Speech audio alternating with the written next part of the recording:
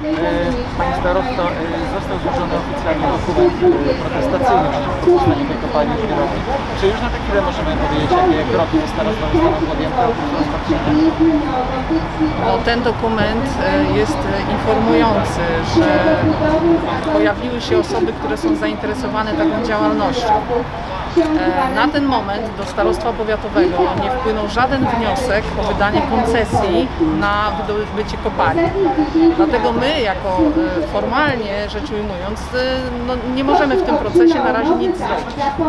Ale oczywiście e, ten protest, który jest, e, dokumenty, które nam tu przedłożono, no one są bardzo ważne, tak?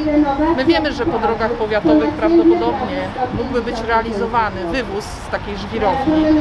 Wiemy, bo mamy doświadczenie na obszarze powiatu z innymi żwirowniami, jak to wygląda, jak bardzo degraduje drogi. No i na pewno jest to e, dużym problemem, tak? Również finansowym. Nie mówiąc o bezpieczeństwie mieszkańców w danych obszarach. Także na pewno zapoznamy się, na pewno będziemy bardzo wnikliwie śledzić, e, jakie kolejne działania w tym procesie wystąpią, bo jak Państwo wiedzą, pierwszy etap to jest złożenie wniosku do wójta gminy, który musi wydać decyzję środowiskową.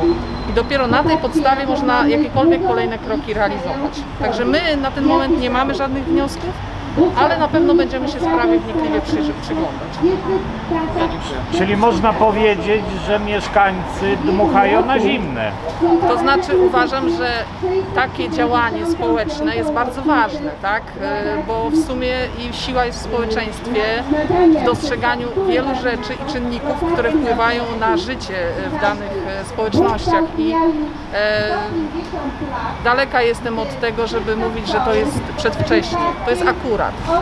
I to jest ważne, że oni to zauważyli i bronią swojego po prostu miejsca. Żona to jest biznes, podatki dla powiatu także. Nie. Nie. Jedyne e, finansowanie, jakie uzyskuje, uzyskuje gmina e, z tytułu wywozu, e, ale z moich informacji no nie są to tak wysokie wpłaty, które by na przykład pomogły utrzymać dróg, drogi w odpowiednich standardach, bo wszystko zależy od ilości wywozu tak, materiału. Także nie sądzę, żeby e, powiedzmy patrząc na kalkulacje były one korzystne.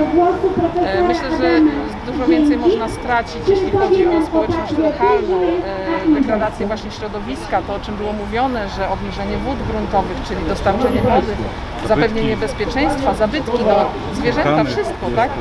Tak. Także no, to trzeba bardzo, bardzo wnikliwie rozpatrzyć i myślę, że jest to bardzo ważne zadanie dla wójta.